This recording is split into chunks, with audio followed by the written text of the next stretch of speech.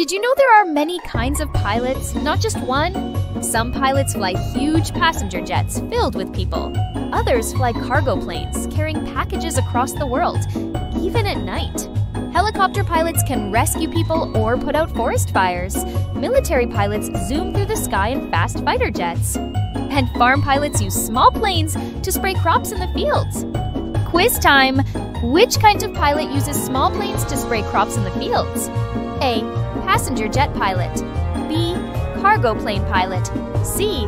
Farm pilot. D. Military pilot. If your answer is letter C, you are correct. True or false? You have to fly fast and high on your first lesson to feel excited. If you answer is false, you are correct. Every kind of pilot has an exciting job in the sky. So, what kind of pilot would you like to be?